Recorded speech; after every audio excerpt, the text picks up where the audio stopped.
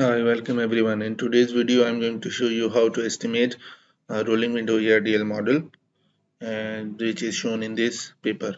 This paper has done the ARDL model by changing the time period windows from 5 years to 10 years to 15 and 20 and then estimates the estimated the ARDL model.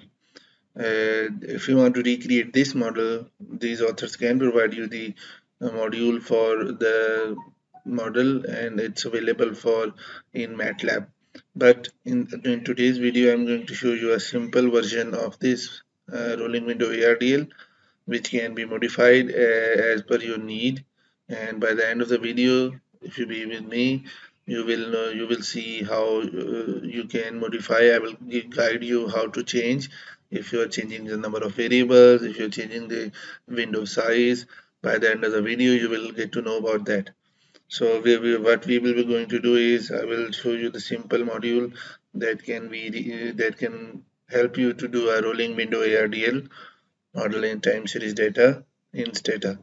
The advantage of this model is that you already know what is the purpose of ARDL model but if you make a rolling window the advantage of rolling window is that you can see the sensitivity of the coefficients that is changing across the long time period data so ideally, if you want to run this uh, rolling window bounds testing approach, you should have a very long data set so that you can pick windows of minimum possible size.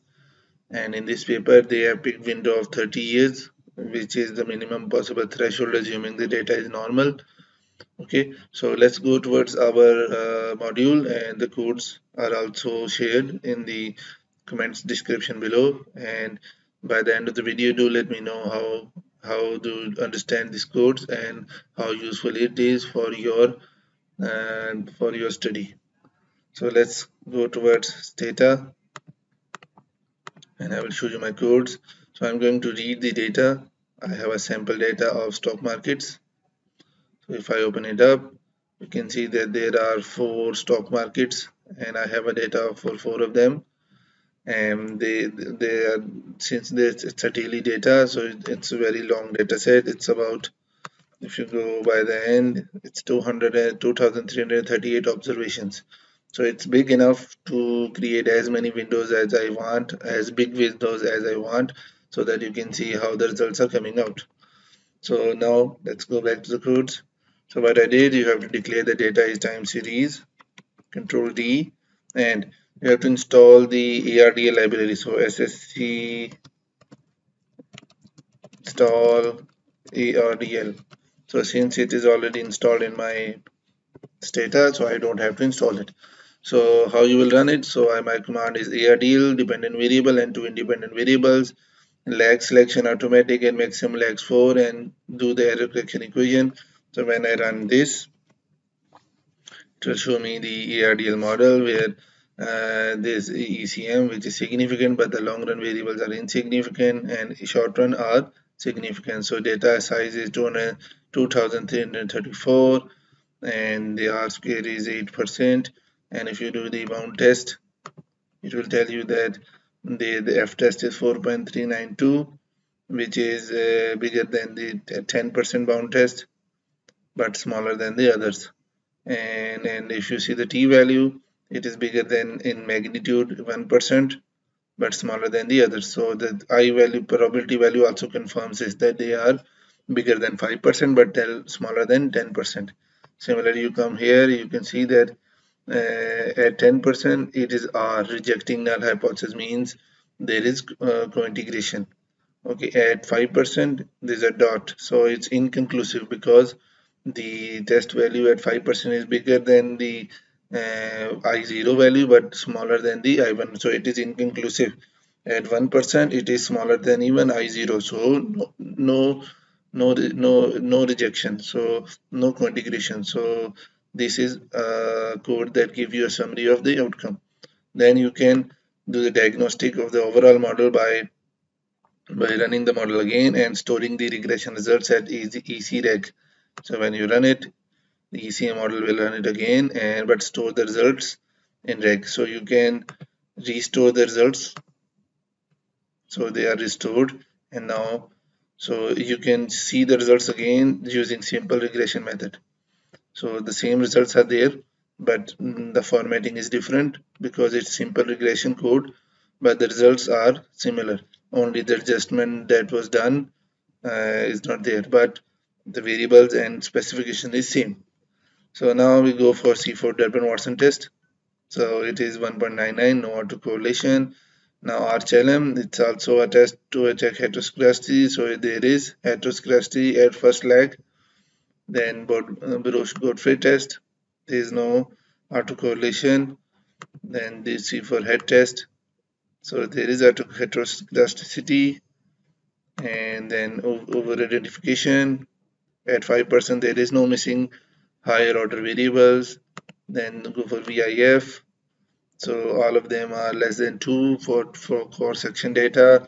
And and if, if you see the reference of Gujarati they are less than 10 so there is no multicollinearity. Then you can look for uh, structural breaks. So this command it will only work for stata 14 or above and you have to install it sb single. So when you run it it will look for structural breaks in the data if there are any. So it will simulate. Let's wait for that. Now you can see that it has found that there is a structural break at observation number 1837 and it is significant. So there is one break in the uh, data. And if you want to make your model stable you have to, you should create a dummy variable for this date and then add it as a exogenous variable so it will improve the results. So how why there is a need of improvement you can see it here. So if you do the cusum6 you need to install cusum6 library. And when you run this uh, I made sure that the the commands are same. Just uh, difference is that the, in the model the variable is Turk but here the variable is a little bit different. So what I can do I can stop it here. Stop the function and go in the library and change the variable to Turk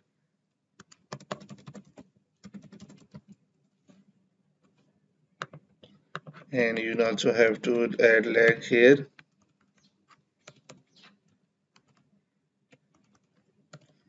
So you have to completely adopt the specification that is used in the model. So I will change it. So when I run this model save it first when I run it because this since data is long it will take some time to estimate. As you can see the CUSUM square diagram is shown and it is going out from this point. So there was a break somewhere in this observation. So and I've already showed you that using SSB single there was a break. So this way you can show your CUSUM graphs. So let's move forward. Now I'm going to show you how to modify the code to do a rolling window ARDL so for that I will increase the font size. So you have to open the clear the uh, temporary folder mm, create a new folder and say what items you are going to store. So I will store starting data value ending data value adjustment coefficient standard error adjustment coefficient variable number one Pakistan variable number two standard error Pakistan variable number three eh, Indonesia. So even if I've used Turk you can use any label. So you can change it SC Indonesia F value T value RMSE R square so these are the values that I'm going to store. Now what I've done I've assumed that my sample size should be 500 observations so that the since it's a daily data so it should be long enough time period. So what I've done done is that I have subtracted 500 from the uh, final observation to see where should I stop by the end. So I will start from 1 till uh, 1838 so that when I'm on 1838 my ending value should be the last value of the data. So this way I have calculated. Okay? And then I've said that my next window will after 10 observations. So it will jump 10 every new loop. So there will be too many regressions and this why there will be many observations. So loop will start from 1 jump 10 and run 500 observation regression until 1838 by that your sample size will become the last value so all the data will be used and what I've did that it will add 500 to find the ending observation and then ARDL, MAL, Park, Turk if time is more than I and less than observation end, lags, automatic, maximum lags for an error term. Then I will say that store the starting value, ending value, coefficient of adjustment, standard error of adjustment, coefficient of Park, first variable, standard error first variable, coefficient of second variable, standard error second variable, uh, FPSS, TSS, T value, RMSE, R square. And then loop close, post close and open the data. You have to run all of them together otherwise the temporary folder will move and it will not run. Okay, first we'll complete the results and then I will talk about how you can modify if you have uh, more than one variable or you will need to make smaller windows or or more windows or less windows. So when I run this you will see that it will run the ARDL many times and it will let's see. So it has done the calculation. Now you can see in my data file there is a new data set. How many observation does it have? Control shift down 184 ARDL regressions. For each it has given me adjustment coefficient standard error of that. First variable second variable and their standard errors f value t value rmse and r square. You can extract as many things that you want and i will also tell you how i get to know how to extract what i want. So uh, by the end of the video i will tell you about that too. So then i generated the t value of the adjustment coefficient control d I also estimated the t-value of first variable, control D, and second variable. Now I plotted the adjustment coefficient variable and its t-value. So when I run this, it is showing me the adjustment coefficient in blue and the t-values in red and the critical value is minus 1.96. So whenever the red line is below the red horizontal line, it was significant and you can also notice that the blue line is never crossing zero uh, it is going to the number is it's never going to the positive side. And and in most cases it is significant. So the model holds in moving windows. And this is the starting observation value. Similarly we can do it for first variable. So 1.96 positive 1.96 minus so this is the insignificance region.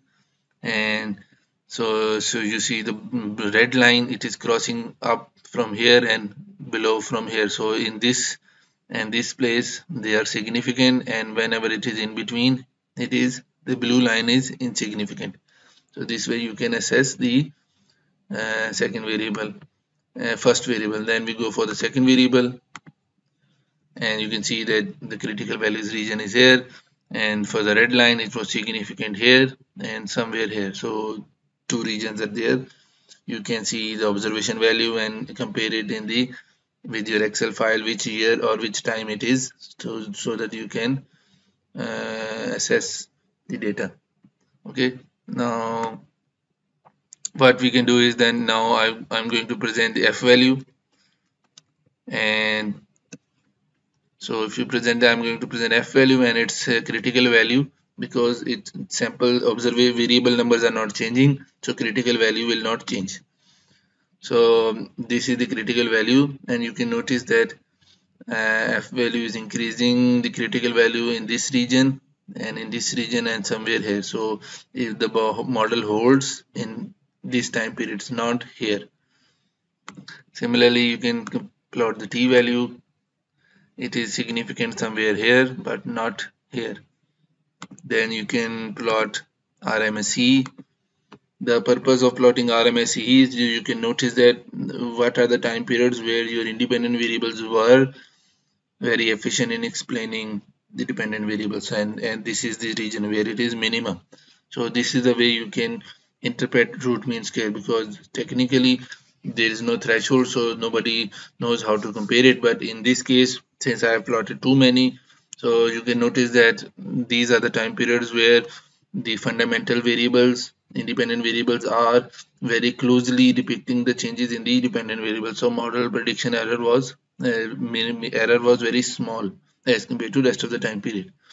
So it means uh, policy was very effectively working in this time period. Then you can also plot r square and you can see the r square was higher somewhere here and very low here. So this is the place uh, this is this is the, the the, the percentage explained. So it means that in this region the the share of other variables was lower as compared to this region. And if you can join it together if you want a combined graph you can see this graph. So you can use it as a summary now coming back how you can find what you can extract. So for that you have to run the overall model.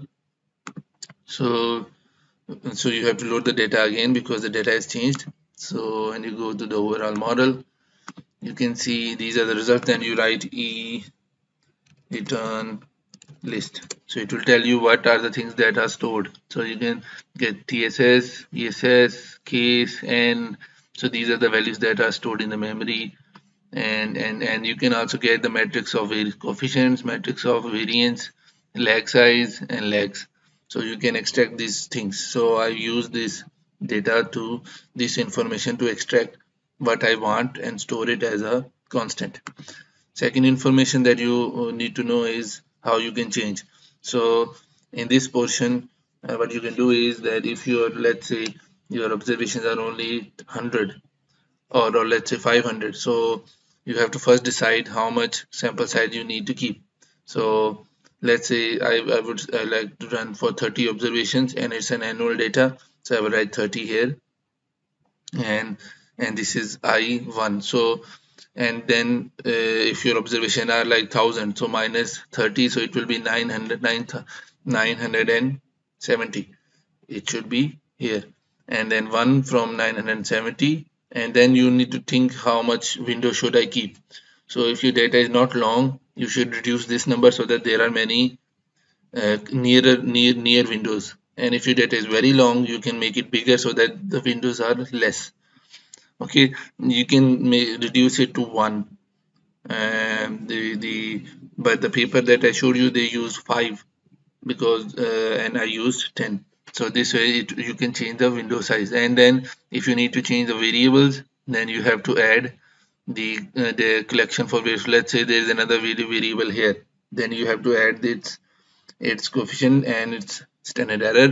So for the coefficient for the uh, for fourth variable uh, for the third variable you will have to write eb1 comma 4 and for its standard error square root eb 4 comma 4 so this way you can store that data too and then you can plot so this way you can do the rolling window ARDL uh, using Stata.